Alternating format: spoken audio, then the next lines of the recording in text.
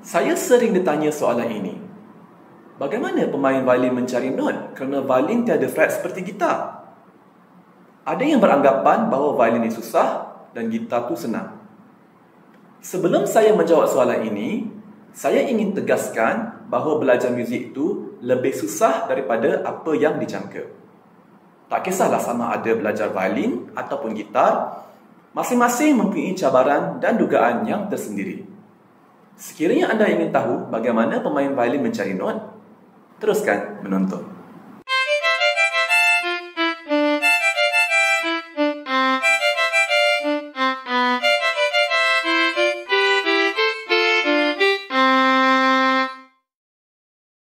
Apabila tiada cahaya, kita tidak dapat melihat.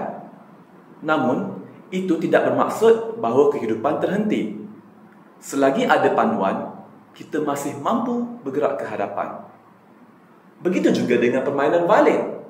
Walaupun fingerboard ini gelap dan kosong, kita masih mampu mencari not. Bukan dengan mata, tetapi dengan minda, pendengaran dan sentuhan. Pertama sekali, perkara yang paling asas ialah mengetahui nama not. Dalam teori muzik barat, kita menggunakan tujuh huruf untuk menamakan not, iaitu A, B, C, D, E, F dan G. Setelah kita sampai di not G, kita akan ulang semula kepada not A, B, C dan sebagainya. Violin mempunyai empat tali. Tali G ialah tali yang terendah, diikuti oleh tali D, tali A dan tali E sebagai tali yang tertinggi. Apabila kita memainkan salah satu tali ini tanpa menyentuh di tangan kiri, kita namakannya sebagai open string. Sekiranya kita ingin menukar kepada not yang bukan open string, kita haruslah menggunakan jari di tangan kiri kita untuk diletakkan di atas fingerboard. Kaedah ini dinamakan sebagai stopping.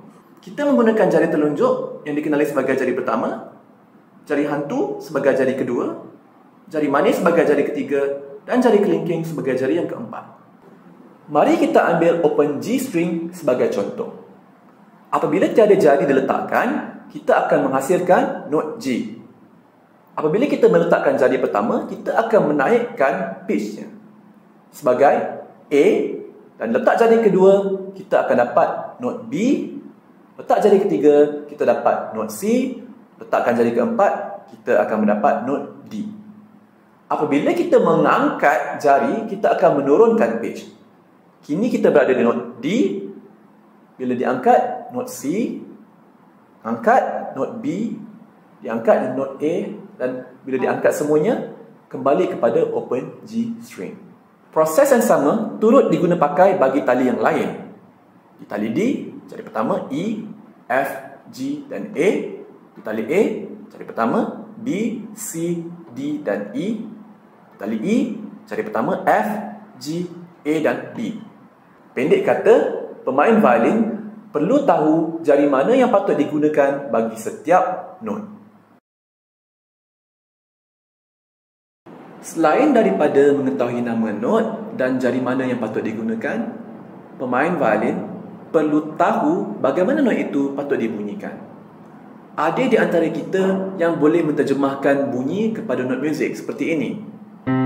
E, G sharp, D sharp, D, F, A flat, B. Fenomena ini dinamakan sebagai perfect pitch.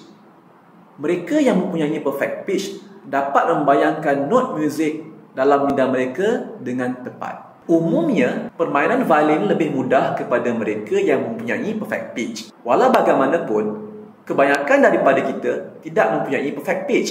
Itu tidak bermakna bahawa kita tidak dapat mempelajari violin. Apa yang kita boleh lakukan ialah meningkatkan pendengaran kita melalui pendedahan, latihan dan pengalaman.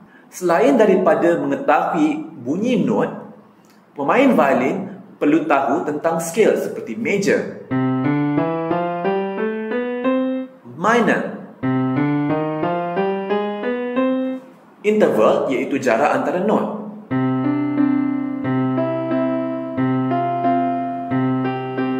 dan harmoni seperti major, minor, diminished dan augmented.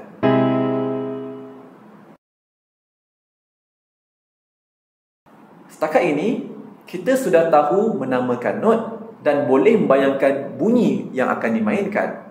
Kemahiran terakhir yang perlu ada pada pemain violin ialah penguasaan sentuhan. Seperti seorang bayi yang mahu belajar berjalan, proses ini memakan masa yang lama. Apabila kita ingat kembali saat pertama kita menulis, proses itu amat kekok. Lama kelamaan, ia sudah sebati dengan diri kita. Pemain violin profesional boleh mencari not berdasarkan sentuhan dan refleks. Mereka tahu kombinasi jari yang bersesuaian bagi setiap not, skill dan musical pattern. Penguasaan sentuhan ini datang daripada latihan dan pengalaman yang cukup lama. Pemain violin yang serius biasanya menghabiskan masa dari 2 jam hingga 3 jam sehari supaya menjadi mahir. Di peringkat tertinggi, pemain violin didedahkan dengan karya violin yang agak susah. Sekiranya mereka dapat mengatasi karya-karya ini, mereka dapat memainkan pelbagai jenis muzik. Bersusah-susah dahulu, bersenang-senang kemudian. Pemain violin yang handal tidak perlu lagi mencari not kerana not sudah berada dalam tangan. Kesimpulannya, pemain violin tidak perlu menggunakan fret untuk mencari not. Sebaliknya, mereka perlu mengetahui nama not, jari mana yang perlu digunakan, bagaimana not itu patut dibunyikan dan kombinasi sentuhan yang bersesuaian. Jauh menjangkaui mata, pemain violin dapat melihat not dengan menggunakan minda, telinga dan sentuhan. Sekian buat masa ini. Diharap kita dapat berjumpa pada video yang akan datang.